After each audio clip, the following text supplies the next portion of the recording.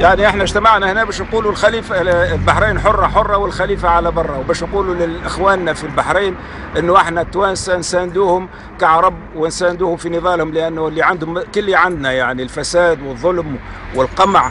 وخاصة يعني يحبوا يلعبوا كذا لعبة الطائفية إنه شيعة وسنة. إحنا نقول لهم إحنا كنا هنا سنة في تونس لكن نعتبروا ان القضية لا هي قضية سنة ولا قضية شيعة. هذه قضية قضية شعوب عربية تحت الدكتاتوريات وما يلزمهمش يفرقوا يخلونا يفرقوا ما بيناتنا السنة ولا الشيعة. اذا هذه معركة نتاع الشعوب ضد طغاة ولا علاقة لا بالدين ولا بالطائفية. اذا أنا نقول لاخواننا في في البحرين نحن معكم قلبا وقالبا نحن يعني نتألم عندما تتألمون ونعتبر اللي معركتكم هي جزء من معركتنا. جينا اليوم هنا قدام السفارة هذه اللي هي ماهيش سفارة البحرين هي سفارة النظام البحريني. باش نقول لكم اللي إحنا مع البحرين وضد النظام البحريني مثل ما إحنا كنا مع تونس وضد النظام التونسي. كل هذه الأنظمة لا تمثل إلا أنفسها وإن شاء الله في وقت من الأوقات يكون عندكم لك حقيقة سفارة الشعب البحريني هنا في تونس ولو أنه ربما نصل في يوم من الأيام إلى أنه لن تكون هناك سفارات في الشعوب العربية وإنما ممثليات لأننا سنكون قد نجحنا في إقامة ليس فقط الديمقراطية في كل الوطن العربي وإنما اتحاد الشعوب العربية الحرة وإن شاء الله الشعب البحريني الحر يكون جزء من هذه الفيدرالية للشعوب العربية الحرة الكبيرة. نحن جينا هنا باش نعبروا على مساندتنا كتوانسه وكمناضلين في تونس. لأشقائنا وإخواننا في البحرين الشقيقة في انتفاضتهم من أجل الحرية والكرامة وتنديدنا بالقمع الوحشي اللي تمارس عليهم من قبل نظام آل خليفة وخاصة أيضا من قبل تدخل يعني آل سعود بآلاف العساكر ودول أخرى من الخليج.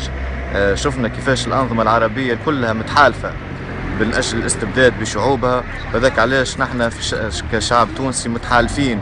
ومتآخين مع بقية الشعوب العربية في نضالها وثورتها ضد القمع وضد الاستبداد ومن أجل الحرية والكرامة والعدالة. اليوم نحب نوجه رسالة إلى أشقائنا في البحرين. راهو الشعب التونسي معاكم. وينجم يكون عددنا اليوم أمام سفارة البحرين قليل لكننا متأكدين كما كنا قلائل أيام النضال ضد بن علي إلا أنه فيما بعد أصبحنا الأغلبية اليوم. صحيح نحن شوية قدام سفارة البحرين لكني متأكد أنه قلوب التوانسة الكل مع أشقائهم في في البحرين وأنه ما جدش عليهم يعني الملعوب بتاع يعني الفتنة الطائفية اللي حبوا يوظفوه سواء آل خليفة أو حلفائه من باقي الأنظمة العربية المستبدة. يعني قضية الشعب البحريني هي قضية كل الشعوب العربية قضية الحرية والكرامة والعدالة.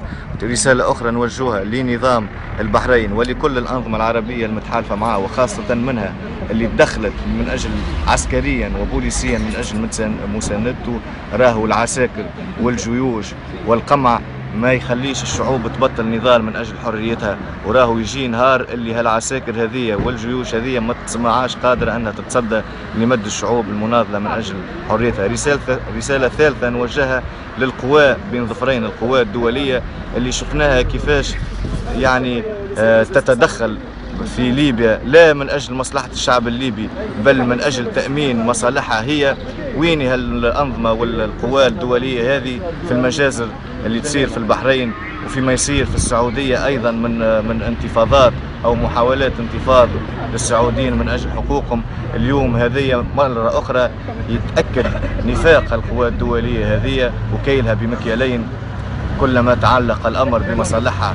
آه رسالة رابعة للشعب التونسي. راهم ما يجدش عليكم الألاعيب نتاع التقسيم والفتنة الطائفية. راهم المنتفضين في البحرين منتفضين لا من أجل فتنة طائفية بل منتفضين من أجل حقوقهم وحريتهم ومن أجل كرامتهم ومن أجل العدالة. هذه الرسائل الأربعة اللي حبيت نجي نوصلها اليوم قدام سفارة البحرين. وشكرا بسم الله الرحمن الرحيم. يعني أتينا هنا من تونس ملهمة الثورات. لنعبر عن تضامننا اللامحدود مع إخواننا في البحرين ونؤكد مرة أخرى أن أحرار تونس لا يفرقون بين الشيعة والسنة ولا ولن ينخدعوا إن شاء الله لن ينخدعوا بهذه الألاعيب الإعلامية والألاعيب الدولية. ومن هنا من تونس نثبت بأننا إخواننا في البحرين نتضامن معهم تضامنا لا محدودا في ثورتهم ثورة الكرامة وثورة الحرية ونعبر عن سخطنا على بعض الوسائل الإعلام التي كتمت صوت الحقيقة والتي حاولت أن تلتف على ثورة الشعب البحريني بدعوى أنها طائفية وأنها ثورة شيعية. من تونس نعبر عن تضامننا مرة أخرى وأننا لا نفرق. لم نسأل في ثورة ليبيا عن شعب ليبيا هل كان سنيا أم شيعيا ولم نسأل عن ثورة اليمن هل كان زيديا أم شافعيا. وكذلك إخواننا البحرين معهم معهم دائما إلى إسقاط نظام آل خليفة. والسلام.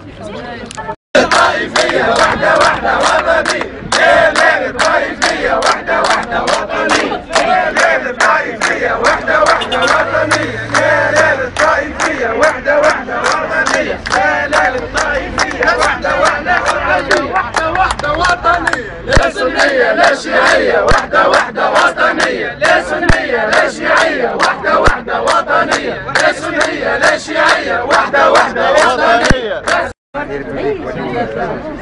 على خاطر كل شنو ريال آه صابرين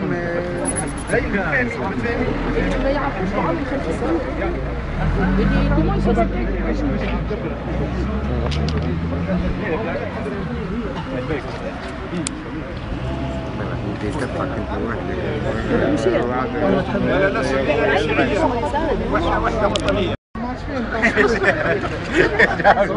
عارف في عارف في